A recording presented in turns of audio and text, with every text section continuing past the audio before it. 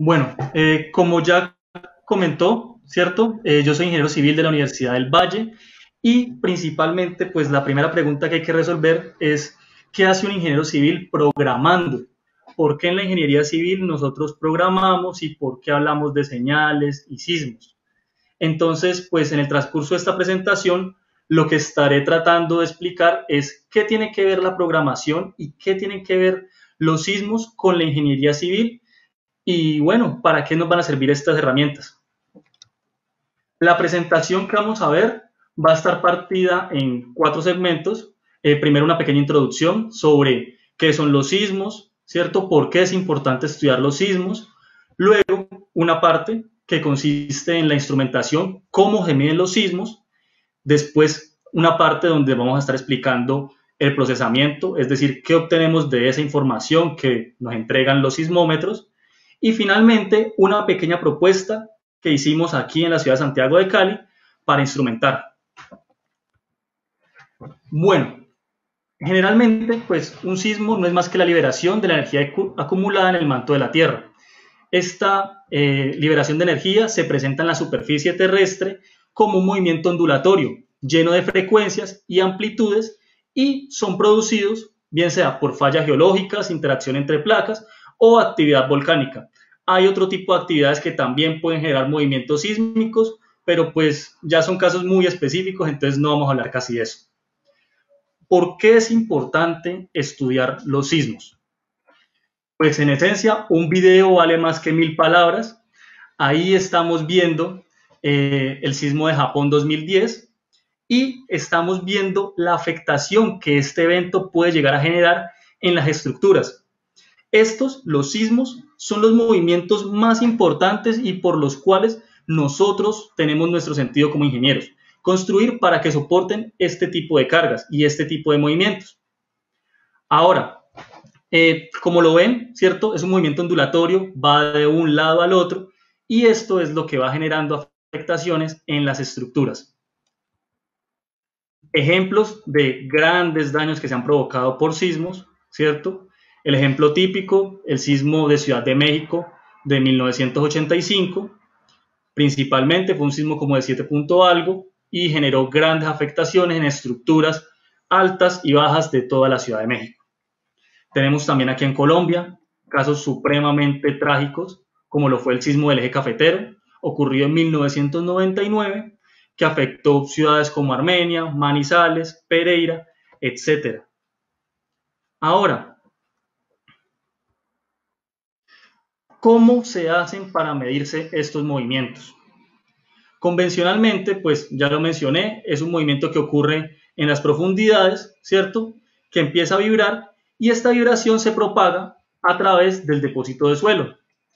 En el depósito vamos a instalar un aparatico, un sismómetro o un acelerómetro que se va a encargar de leer este movimiento a partir de relaciones de rigidez de diferentes resortes y microcomponentes que tiene y va a convertir esta información en electricidad en voltaje que vamos a poder después leer con un aparato que llamamos sistema de adquisición o módulo de adquisición, el cual se encarga de convertir este voltaje en puntos eh, digitales que vamos a poder leer con un computador.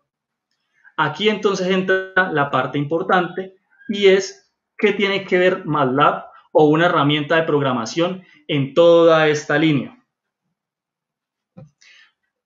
Para poder leer estos respectivos sismos, vamos a necesitar tener interacción entre el computador y el sistema de adquisición.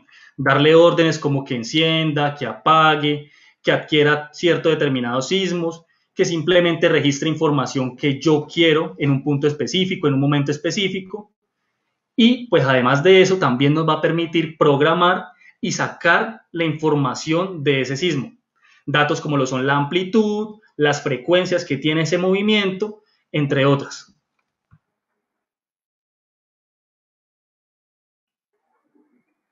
Ahora, en esencia y muy esquemáticamente, ¿cómo funciona esto?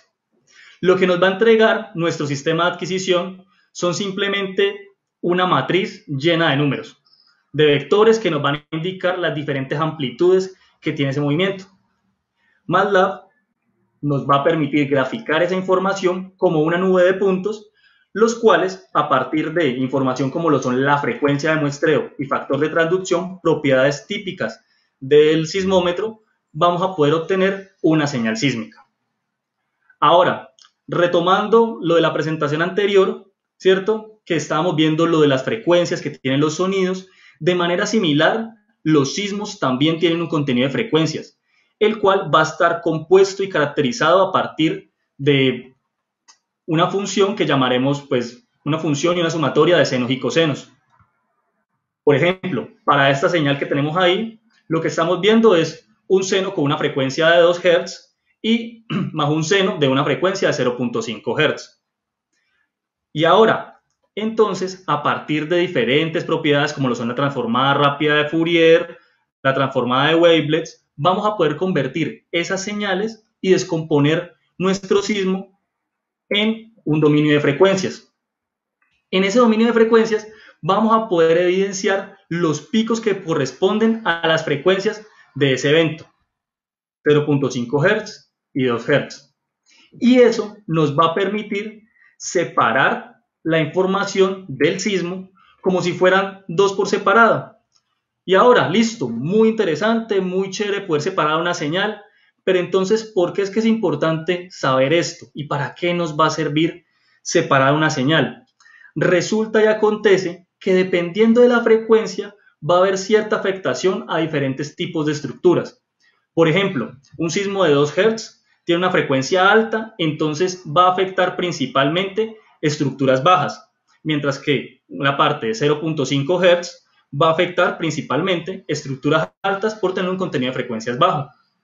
Esto, pues, para verlo más fácilmente, un pequeño dibujito donde vemos entonces que, a pesar que son diferentes movimientos, afectan diferentes tipos de estructuras, más rígidas, menos rígidas, más altas o menos altas, según sea el caso.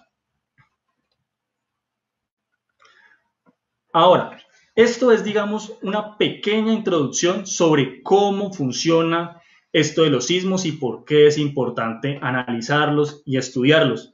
Por qué las frecuencias y el contenido de información que tiene es tan importante para nosotros como ingenieros y, pues bueno, qué parte de la programación tiene que ver con todo esto.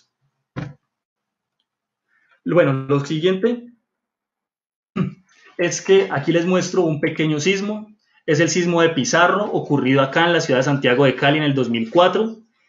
Esto va a ser un pequeño ejemplo sobre lo que convencionalmente nosotros hacemos con una señal y bueno, a partir de esto, cómo vamos a sacar información e inferir de este movimiento. Lo primero que observamos, este es el registro eh, original que se obtiene a partir de un sensor que está ubicado en el distrito de Agua Blanca. Lo primero que vemos es que ese registro no se encuentra sobre cero, lo cual quiere decir que la información que estamos obteniendo no tiene las amplitudes reales o no está ubicada en la posición real que debería estar el respectivo suelo o la respectiva estructura. ¿Por qué?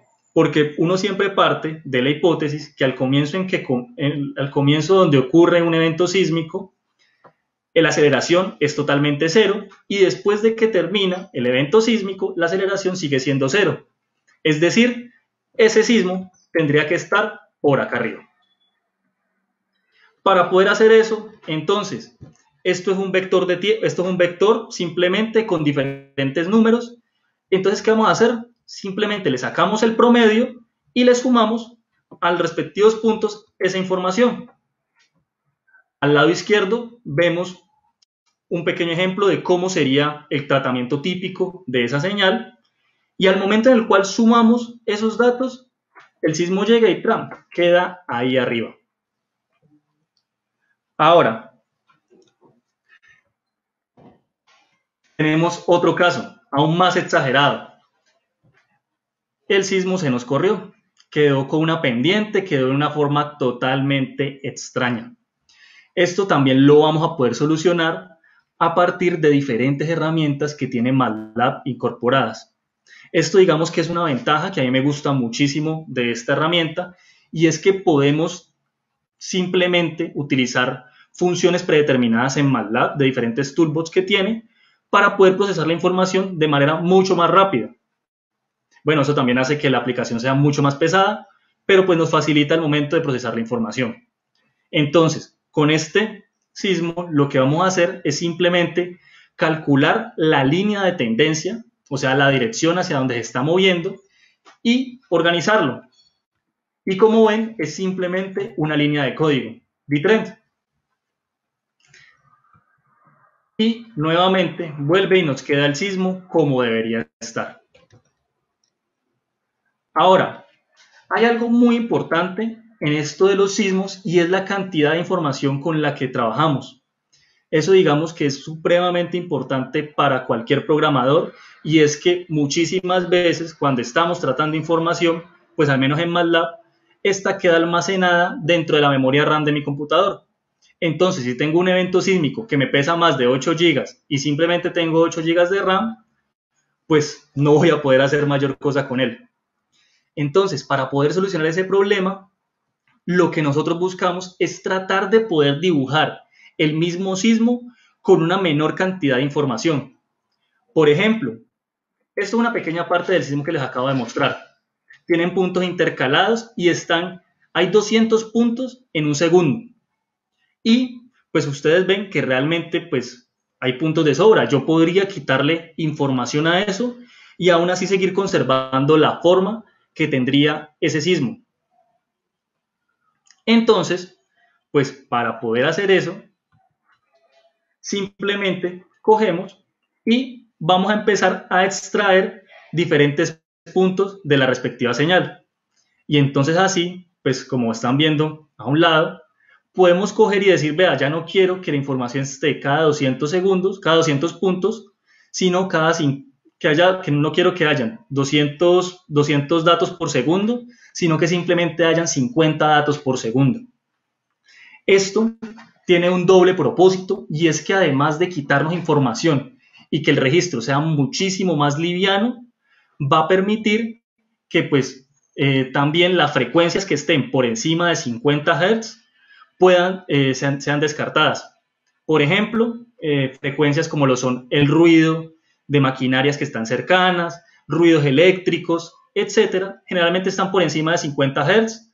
Entonces, con este tratamiento vamos a poder quitarle toda esa información y nos va a quedar un registro mucho más limpio y bonito.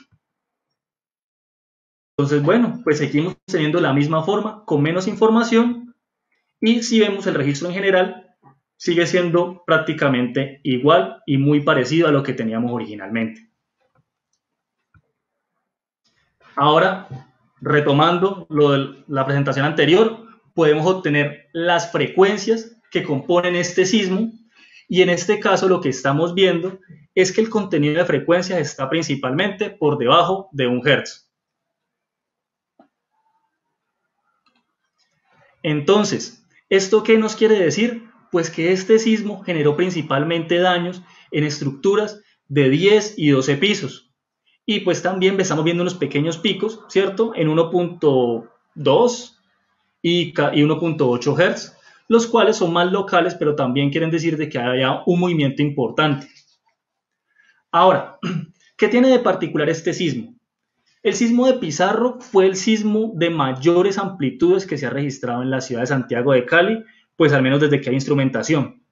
Este sismo es el responsable de que haya tenido que ser reparada eh, la clínica materno-infantil, ubicada en La Paso Ancho, en la suroriental, la autopista suroriental, y este sismo, pues principalmente, dañó esa estructura que era de 10 pisos, justamente cuando al lado de ella, enfrente, estaba Palmetto, un edificio de 3 pisos que no, no presentó ningún tipo de daño.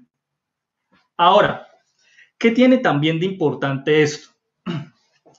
Como lo vimos en la presentación anterior, las frecuencias no están necesariamente durante todo el registro y estas pueden verse para diferentes instantes de tiempo y con diferente energía o diferente amplitud. Para eso, también en MATLAB vamos a poder utilizar la misma aplicación, ¿cierto? El espectrograma, en este caso es una transformada de Stockwell, para poder encontrar dónde y en qué instante de tiempo estaba ocurriendo la respectiva amplitud del sismo con su respectiva frecuencia.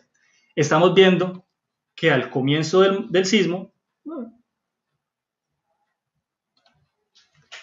¿cierto? Aquí, las frecuencias son principalmente altas. Después ocurren unos movimientos supremamente fuertes, que hay unos picos ahí extraños, y ya nos queda un contenido de frecuencias todo inferior a un Hz.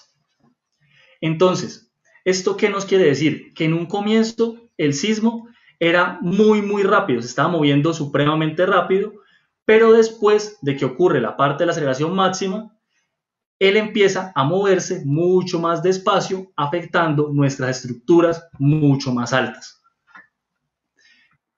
Esto fue simplemente una pequeña pues, explicación rápida de qué es lo que nosotros hacemos con los sismos y por qué es que eso nos sirven y por qué son tan importantes para la ingeniería. Ahora, en parte de mi trabajo del pregrado, a mí me tocó hacer un sistema de adquisición, un sistema de lectura de sismos, el cual voy a presentar a continuación, y este sistema tenía la gran particularidad de que necesitábamos que tuviera diferentes características, que pudiera primero que mientras fuera leyendo el sismo lo fuera, lo fuera graficando, o sea, que fuéramos viendo de una vez, mientras fuera ocurriendo el movimiento, se fuera viendo ese movimiento. Ahora, necesitábamos de que hubiera un remuestreo en tiempo real. ¿Esto qué quiere decir? Que mientras fuera llegando el sismo, la información fuera perdiendo número de puntos porque la información que estábamos almacenando o la información con la que contábamos de los sistemas estaba adquiriendo 2.400 datos por segundo. Entonces eso pues era demasiada información, que era como que una hora de almacenamiento nos representaban 8 gigas, entonces no podíamos hacer pues mayor cosa con ellos. Entonces la idea era que mientras fuera leyendo, fuera cogiendo y simplificando y dejando solamente la parte que nos interesaba a nosotros. Que la fuera almacenando y la fuera organizando automáticamente en paquetes de 20 minutos y finalmente le colocamos así como para que se vea más chévere un algoritmo de detección de sismos que nos permitiera leer solamente la parte donde estaba ocurriendo un movimiento representativo o grande del sismo. Se los presento, pues eso también, realmente todo lo que se ha presentado en la, en la presentación ha sido hecho con MATLAB.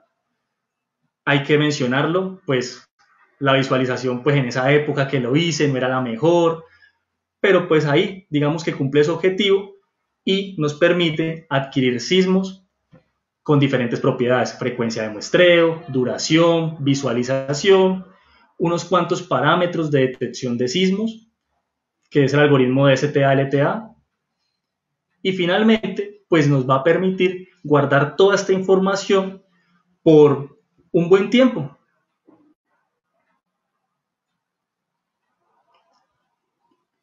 Ahora, lo que estamos viendo ahí, pues es una señal simulada que representa pues un movimiento ondulatorio de un evento pues que programé para que digamos fuera visible en la respectiva presentación. Ahora, ¿dónde aplicamos ese algoritmo y esta teoría de adquisición de sismos? Pues nos ubicamos en la PETAP Puerto Mayarino, ubicada en el oriente de la ciudad. Ahí realizamos una respectiva adecuación de la zona, colocamos cuatro casetas y cada caseta tenía una diferente profundidad de un pozo. Teníamos pozos a 4 metros, a 7 metros, 13 metros y 40 metros de profundidad. ¿Y esto con qué objetivo? Pues con instrumentar únicamente la superficie y instrumentar la zona a 40 metros de profundidad de nuestro respectivo pozo. Entonces estamos viendo ahí, colocamos un poco de sensores, instrumentamos. Lo que estamos viendo en esta partecita, esto gris, es el, es el sismómetro superficial. Este es nuestro sistema de adquisición. Y todo esto está conectado por un cable Ethernet que nos lleva la información a un computador donde almacenamos todos nuestros registros. Ahora bien, a partir de esto, pues ya el 24 de diciembre adquirimos un sismo este es de magnitud 5.7, no, no recuerdo muy bien dónde fue que ocurrió, pero pues está respaldado y sí es un sismo. Muy interesante, muy bonito y aún mejor, 20 minutos después ocurrió otro sismo, también de amplitudes similares a estas. Con esta información, pues ya básicamente espero poder graduarme de la maestría y pues hay que hacerle todo el respectivo tratamiento, que se esperaría para una señal. Ahora, eh, muchísimas gracias. En lo personal, les cuento un poco. Eh, yo disfruto utilizando MATLAB principalmente por la facilidad que tiene en comparación con otros códigos. Si bien la programación en MATLAB es un pseudocódigo porque no, está, no es puro, sino que la base de él es Java, digamos que esa herramienta y esa versatilidad y la forma de graficar hace que sea muchísimo más fácil poder programar y poder jugar con él. Finalmente, pues ya quisiera agradecerles eh, a todo el grupo, a toda la gente que estuvo participando, que ha estado exponiendo, supremamente interesantes todas las exposiciones. Y bueno, de nuevo muchas gracias Hola, gracias por quedarte hasta el final del video. Recuerda que puedes ver más contenido como este en nuestro canal de todos los eventos a los que asistimos porque we love devs. Y acuérdate de darle like, compartir, suscribirte y darle a la campanita para que estés al pendiente de todo nuestro nuevo contenido. Además, seguirnos en todas nuestras redes sociales para que siempre estés al día sobre todo lo que subimos. Además, aquí te dejamos otros videos para que los puedas ver. Exacto. Gracias.